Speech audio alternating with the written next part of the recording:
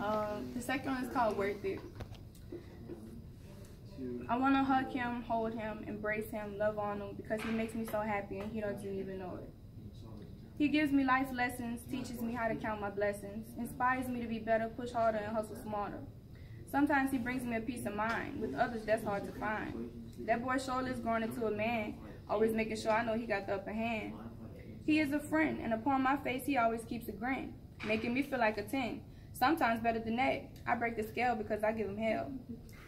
When I get the forehead kiss, I reminisce on the love he gives, especially when there's a distance. I miss him, and I mean every inch of him. He is just a friend, but a friend no more I want to pretend to be. When he leaves, I feel like he takes a piece of me, a piece of my heart. But I don't trip, I know how to play it smart. Because when he come back, he already know where it's at. LOL, I remember that time he gave me his hat.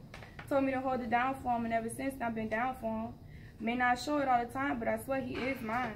And whether he know it or not, I'm his too, or at least just his little boo. But that's cool, I don't mind. It ain't relationship time. It's time to chase that cheddar and make them treats better. Uh, gotta keep my head up. Can't have nothing or nobody messing my bread up.